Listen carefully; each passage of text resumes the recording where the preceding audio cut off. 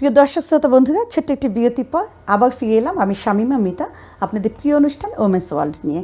আজ ওমেন্স ওয়ার্ল্ডের একটি বিশেষ পর্ব, কারণ আজ সারা বিশ্বে খ্রিস্টান ধর্মাবলম্বীদের সবচেয়ে বড় ধর্মীয় উৎসব ক্রিসমাস ডে আর সেই সাথে বলব যে সারা বিশ্বে যে যেখানে আছে যে কোনো ধর্মাবলম্বী, সকল বাংলাদেশিরা, বাঙালিরা বা আই অন টেলিভিশনের সকল ভিউয়ার্সরা যে যেখানে আছেন, এই ক্রিসমাসের আনন্দ সবাইকে কম বেশি ছুঁয়ে যায়।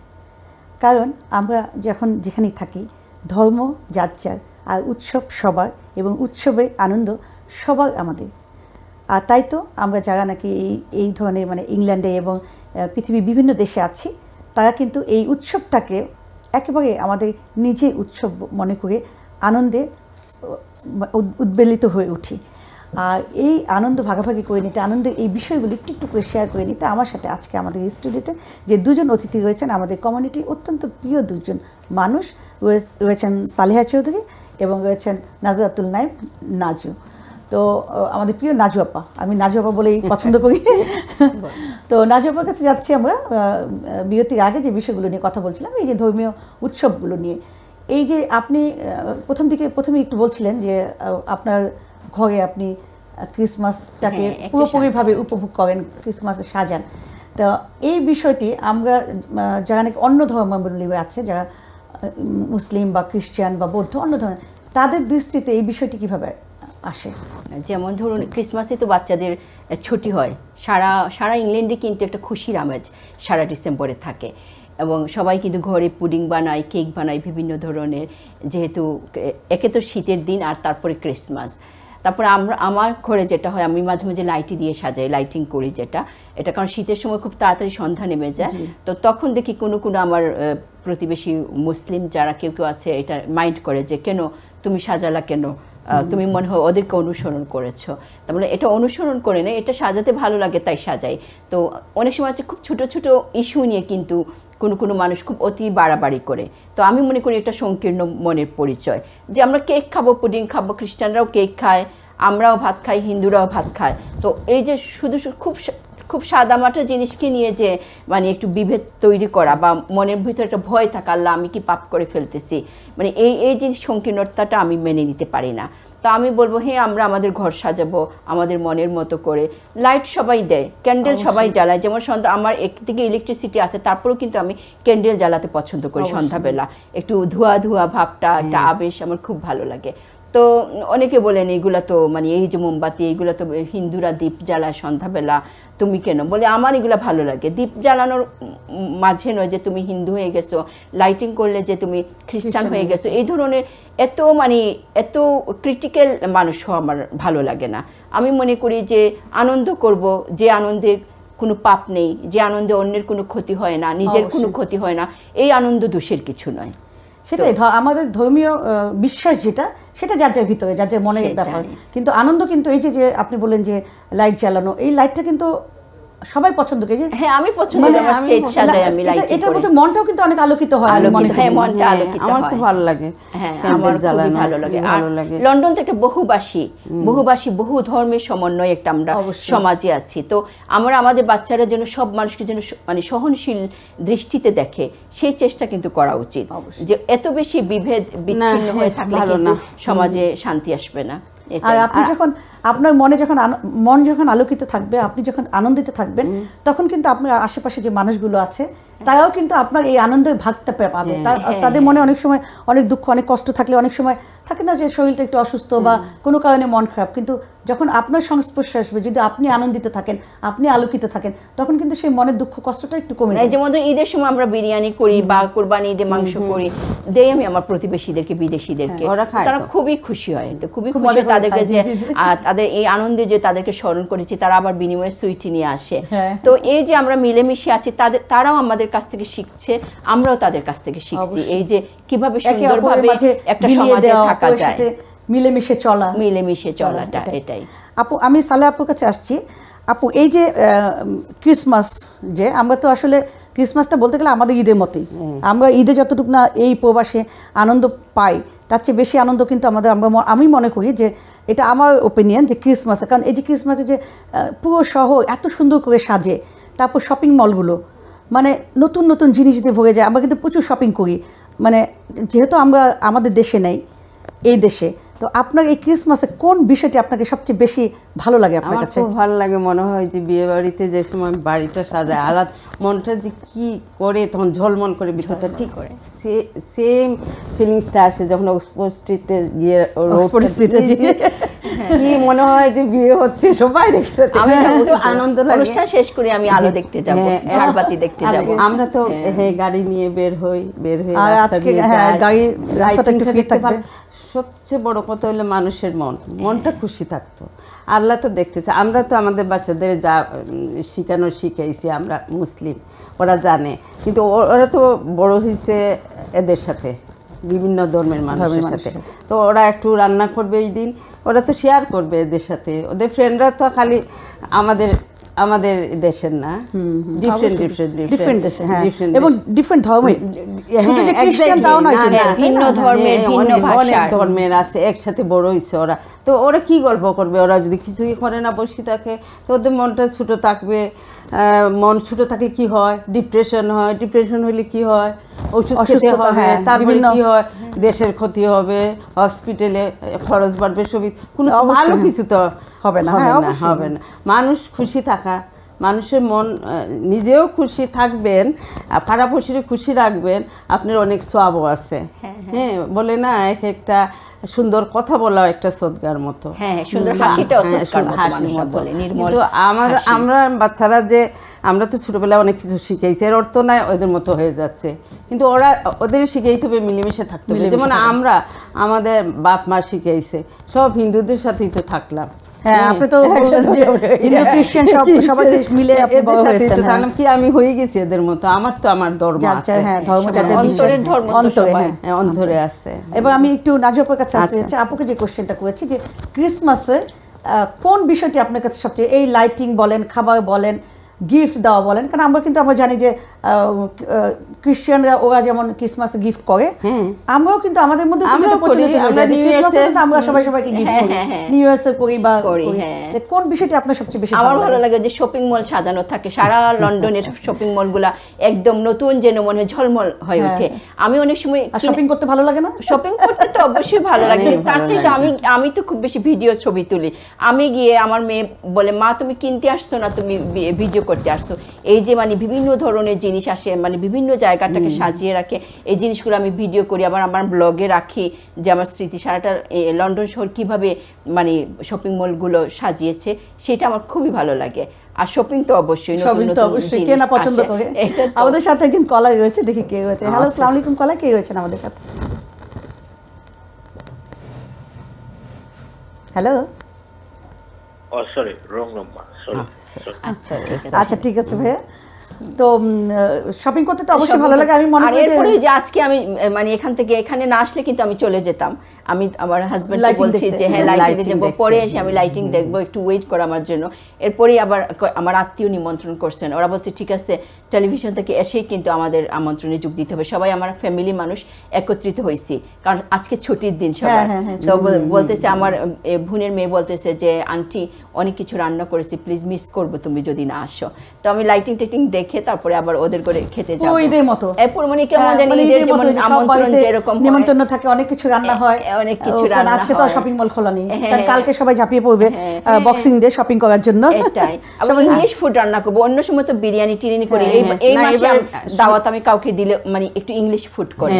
সবার সাথে পুডিং কেক ওদের যে যে যে চিপস এগুলাই করি। বলে সবসময় তো খাই। কোরমা হ্যাঁ, পোলাও হ্যাঁ, আমাদের বাঙালি পরিবারে তো আছে এই ডিসেম্বরে দাওয়াত হলে আমি কিন্তু তোমাদেরকে অন্য ধরনের খাবার দেব। তো ওরা বলে খুশি। বলে সব গড়ে গিয়ে তুই কোরমা পোলাও খাই একটা মাস না হয়। এরকম খেতে মজাই লাগে। দেখি আমাদের সাথে। কলাই রয়েছে আচ্ছা, আপু। আচ্ছা, দেখি কে রয়েছেন। হ্যালো আসসালামু আলাইকুম। কলাই কে রয়েছেন আমাদের সাথে? আসসালামু আলাইকুম। ওয়ালাইকুম আসসালাম। আমি আব্দুল আজিজ তকি। ও ভাই আসসালামু আলাইকুম কেমন আছেন? খুবই ভালো আছি খুবই ভালো খুব ভালো লাগছে আপনাদের অনুষ্ঠানটা দেখে। অনেক ধন্যবাদ। আগে আমি অন করছি টিভি এবং দেখছি আপনাদের অনুষ্ঠানটা।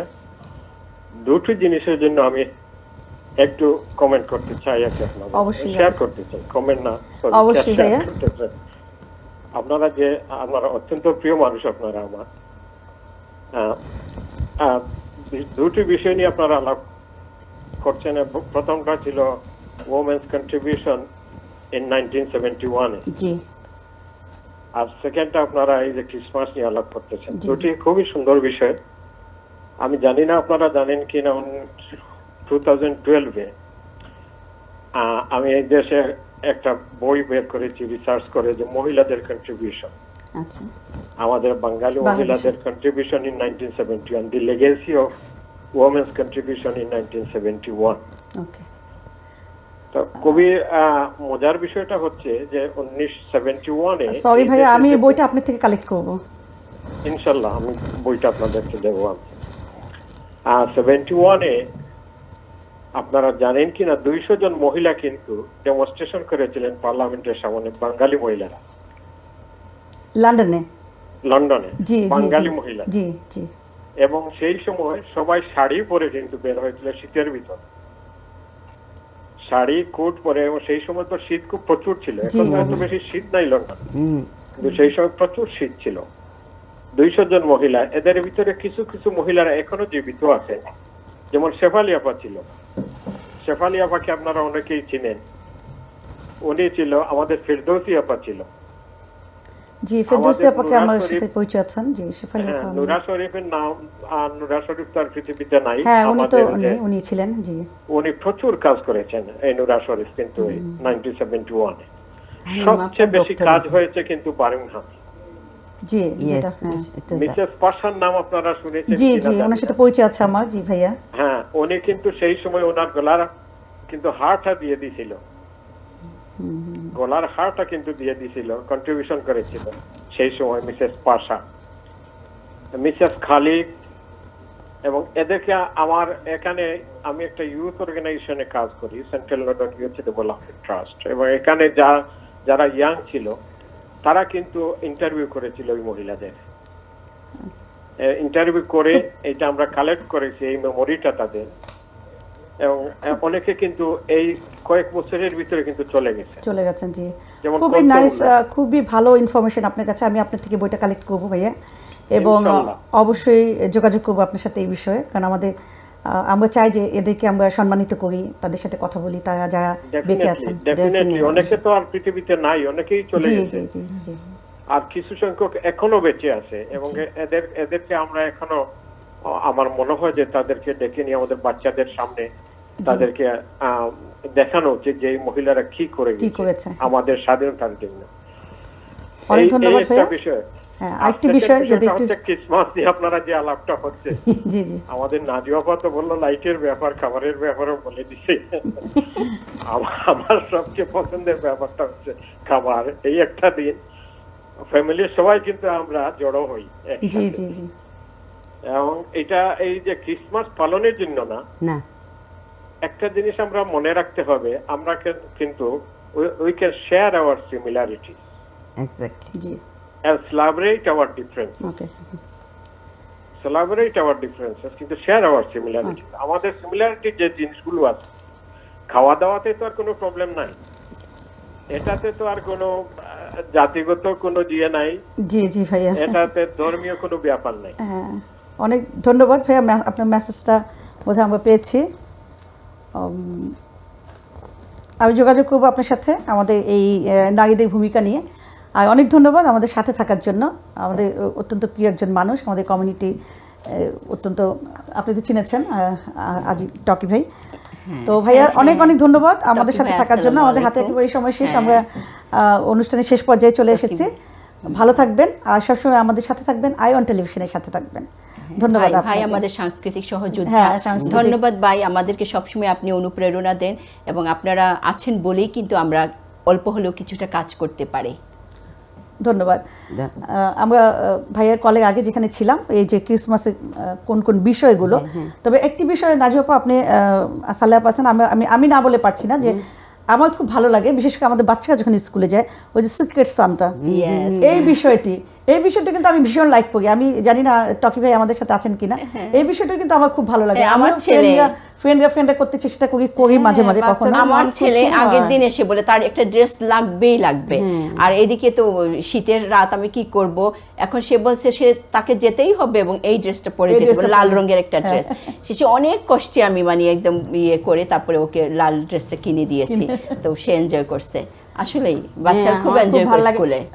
আপা আমার ওই দিনটা ঈদের দিন ঈদ লাগে না এই টোয়েন্টি ফিফথ ঈদ লাগে। কেন আমি বলি? কোনো কাজ নাই। অনেক সময় দেখা যায় আমাদের ঈদের দিনে আমরা ছুটি পাই না তাই না? অনেক কাজ হয়। ঈদ করতে পারি এবং টোয়েন্টি রাঁধতে, হান্ড্রেড পার্সেন্ট শিওর যে দিনটা ছুটি। এটাই হয়। মেয়েরা বলে মা তুমি আসবা না। এটা যে কি আরামের? মনে হয় সময় যাচ্ছে না। মোবাইল টিপে টিপে করি এত ভালো লাগে। আর গিফট পাই কতগুলা? আচ্ছা আমি- মানে আনন্দটা- মানে সব গিফট পান আপনি? হ্যাঁ। হ্যাঁ আমি তো গিফট ইয়ে, পাই। আজকে এটা গিফট পাইছি। ক্রিসমাসে পাই, এই শাড়িটা। এরা তো বাচ্চারা দেয় আর হাজবেন্ড দে তো ঈদের সময় তো দিবেই হ্যাঁ হ্যাঁ হ্যাঁ, ঈদের সময় তো দেয়। আর- আর নিউ ইয়ারে তো পান। হ্যাঁ নিউ ইয়ার তো আমার তার মানে ক্রিসমাস আসলে মানে অনেক গিফট হয় গিফট এই জন্য বেশি ঈদ মনে হয়। আছে তো এর জন্য পাই। ও আচ্ছা। হ্যাঁ এর জন্য পাই। আচ্ছা। এমনি পাই। আর হ্যাঁ। আচ্ছা আমরা অনুষ্ঠান একেবারে শেষ পর্যায়ে। তো এই যে আজকে যে এই ক্রিসমাস একটি ধর্মীয় দিন আমাদের খ্রিস্টান সম্প্রদায়ের জন্য আমরা জানি যে প্রতিটি ধর্মই কিন্তু আমাদের নারীদেরকে অনেক উপরে স্থান দিয়েছে। আপনার কাছে কি মনে হয়? আপনি তো একজন অত্যন্ত সচেতন একজন নারী। হিন্দু খ্রিস্টান বৌদ্ধ সব ধর্মে আপনি কম বেশি হলেও সব ধর্মের মানুষের সাথে চলেছেন। তা আপনার দৃষ্টিতে প্রতিটি ধর্ম নারীকে কোথায় স্থান দিয়েছে বলে মনে করেন আপনি? আসলে প্রত্যেকটা ধর্ম আমার মনে হয় যে বেশি বেশি সম্মানিত করেছে নারীদেরকে। আমাদের বিদায় হজের ভাষণেও কিন্তু বলা হয়েছে হ্যাঁ, যে তোমরা নারীদের সাথে সদ্ব্যবহার করবে। আর ওই দিন একজন সাধারণত ইউটিউবতে দেখি অনেক ইসলামিক বক্তা বা অনেক ধর্মীয় বক্তাদের কথাও শুনি। উনি বলেন যে মানুষরা যে বহু বিবাহ করে মানুষরা যদি স্ত্রীর প্রতি স্বামীর কর্তব্য এই বিষয়ে যদি জানতো এক বিয়ে করতেও ভয় পেত। মানে বলা হয়েছে যে তুমি ইসলাম ধর্মে এরকম বলা হয়েছে তুমি তোমার স্ত্রীকে রানীর মর্যাদা দিও যে তারকে শুধু খাবার কিনে দিলেই হবে না তার সামনে তুমি খাবার রান্না করে হাজির করো। ওইরকম বলছেন। তারপরে বলছেন যে মানে আর তোমরা যে বলো যে ভরণ পোষণ দেওয়া দায়িত্ব নট অনলি ভরণ পোষণ তার ইমোশনাল ওয়েলবিং যেটা। তার মানসিকভাবে যে ভালো থাকে তাকে নিয়ে কোথাও বেড়াতে যাওয়া বা সে একটু বেড়াতে যাবে তার মনটা কি ভালো আছে? যে আমরা মনে করি যে ইসলামে বলা হয়েছে ভরণ পোষণ কাপড় একটু দিয়ে দিলাম মাসে কয়েকটা আর যে খাবার কিছু দিয়ে দিলাম এই আমাদের দায়িত্ব শেষ। এবং এটা নিয়েই গর্বের শেষ নেই আমাদের অনেক অনেক স্বামীর। বলছেন নো এটা নট অনলি তুমি ভরণ পোষণ দিবা তার মনোরঞ্জন করা তার জন্য তুমি সুন্দর হয়ে থাকবা তার জন্য তুমি এ, ঘরের পরিবেশটাকে আমোদিত করে রাখবা এগুলোও কিন্তু তোমার দায়িত্ব। হ্যাঁ। কিন্তু আমাদের কি হয় যে দেখা যায় শাড়ি কাপড়ই দিচ্ছেন বলে যেন কত খুঁটা। তো এইটা না ওরা বলছে এটা না শুধু ভরণ পোষণ না তার ইমোশনাল ওয়েলবিং এইদিকেও কিন্তু স্ত্রীর যে বাচ্চা হলে যে তার মনটাকে একটু প্রফুল্ল রাখা এগুলো মানে দায়িত্ব হ্যাঁ, এগুলো বড় দায়িত্ব, তো বলতেছেন যে আসলে এই দায়িত্বগুলো যদি বেশি বেশি প্রচার হতো পুরুষরা ভয় পেত। একটা। হ্যাঁ, আপু আপুর কাছে আসছি আমি হ্যাঁ, আচ্ছা। আপু তো প্রথমেই বলেছেন আমরা যেটা জেনেছি যে আপনি টি গার্ডেনে বড় হয়েছেন সেখানে হিন্দু হ্যাঁ, খ্রিস্টান সবার সবার সাথে রয়েছেন। আমরা যেটা যেটা আপুকে কোয়েশ্চেন করলাম যে প্রতিটি ধর্মে কিন্তু নারীদেরকে অনেক উপরে স্থান দিয়েছে কিন্তু আমরা যদি একটু সমাজ ব্যবস্থার দিকে দেখি আগের দিনে মানে এই পুরনো দিনে সেখানে কিন্তু আমরা প্রতিটি ধর্মেই দেখেছি ধর্মীয় না আমাদের সমাজ ব্যবস্থায় নারীদেরকে কিন্তু সেই সম্মানটা দেয় না কিন্তু ধর্ম কতটুকু দেয়? আপনি মানে ধর্মীয় ভাবে এটা কতটুকু? এই- দেশেই তো প্রথম দেয় নাই। ব্রিটিশরা তো দেয় নাই। আর ছিল না আগে। এক সময় ছিল না, এক হ্যাঁ। সময় ছিল না। নারীদের ভোটের অধিকার ছিল না। আমরা লাখি লাকি যে আমরা মুসলিম হয়ে জন্মগ্রহণ করছি কিন্তু আমাদের প্রফেট মোহাম্মদ সাল্লাহ ইসলামী ফার্স্ট যিনি নারীদের এত মর্যাদা দিয়েছেন। না সব ধর্মই দিয়েছেন। আপনি খ্রিস্টান ধর্ম যদি দেখেন হিন্দু ধর্ম না, হিন্দু ধর্ম ধর্মেও কিন্তু নারীদেরকে অনেক উপরে দিয়েছেন মর্যাদা দিয়েছেন। খ্রিস্টান ধর্মে কিন্তু আমাদের সমাজ ব্যবস্থা এখন যে স্কলাররা আমি শুনি বলে সবাই তো সবার কথা শুনি সবাই দেখি মহিলাদের অনেক অনেক উপরে, অনেক অনেক উপরে রাখে। তারপরে ওইরকম বলা হয় যে সবাই মসজিদে দৌড়ায় নামাজ পড়ে বৌরে ক্যাট ক্যাট করিয়া যায় গিয়ে বাইরে বউর কথা শুনে না। কিন্তু আল্লাহ বলছে তোমার ঘর আগে খুশি রাখো। হ্যাঁ এখানে হইল আসল মসজিদ। এখানে খুশি রাখিয়া তুমি মসজিদে গিয়ে নামাজ পড়। এখানে কেউ হ্যাপি না ওইখানে গিয়ে নামাজ পড়লে হবে না। ধন্যবাদ আমাদের হাতে একেবারে সময় শেষ। নাজব আমি খুব ছোট করে জাস্ট দর্শকদের উদ্দেশ্যে কিছু বলে বিদায় নিতে বলব। খুব ছোট করে সম্মানিত দর্শক আমরা একটা আনন্দ ঘন দিনে আপনাদের সাথে আপনাদের কাছে উপস্থিত হয়েছি এবং আমি আমি ধন্যবাদ জানাচ্ছি আইওন টিভিকে এত সুন্দর একটা প্রোগ্রাম করার জন্য এবং ধন্যবাদ জানাচ্ছি শামিমা মিতা আপাকে ওনার সুন্দর উপস্থাপনার জন্য। ওনার অনুষ্ঠান সবসময় দেখি ভালো লাগে। এবং আপনারাও আসবেন আপনারাও ভালো থাকবেন এবং সবাই আমরা আসলে মিলেমিশে সুন্দর একটা সমাজ তৈরি করে থাকব। এটাই প্রত্যাশা। ধন্যবাদ। আপু আপনাকে খুব ছোট ইয়ে, বিজয় দিবসের শুভেচ্ছা দর্শকবৃন্দ আপনাদেরকে আহ, স্বামী মামিতা আমাদের এত সুন্দর একটা অনুষ্ঠানে বিজয় আহ, মাসে বিজয় মাসে। ডাকছে। তারপরে ওই যে একটা ইয়ে ক্রিসমাস ডে এটা একটা আমি একটা ঈদের দিন মনে করছি আমার জন্য। তো এটা শেয়ার করলাম আর ওরে অনেক ধন- ধন্যবাদ আমাদের যে ইনভাইট করছে আসার জন্য আপনাদের শোনার জন্য। অনেক অনেক আবার দেখা হইব ইনশাল্লাহ। ধন্যবাদ। ধন্যবাদ সালেহ চৌধুরী এবং নাজাতুল নাইম নাজু। আর সেই সাথে ধন্যবাদ সুপ্রিয় দর্শক মণ্ডলী আপনারা যে যেখান থেকে আমাদের সাথে ছিলেন এতক্ষণ পর্যন্ত ভালো থাকবেন। আজ ক্রিসমাস ডেতে বলব যে আপনাদের সবার জীবনে শুভ হোক, সবার জীবন শুভ হোক এবং একটি নতুন বছরে যে শুভ সূচনা সবার জীবনে আসুক। ভালো থাকবেন, সুস্থ থাকবেন। আই অন টেলিভিশনের সাথে- সাথে থাকবেন। আগামী অনুষ্ঠান দেখবার আমন্ত্রণ জানিয়ে বিদায় নিচ্ছি। খোদা হাফিজ।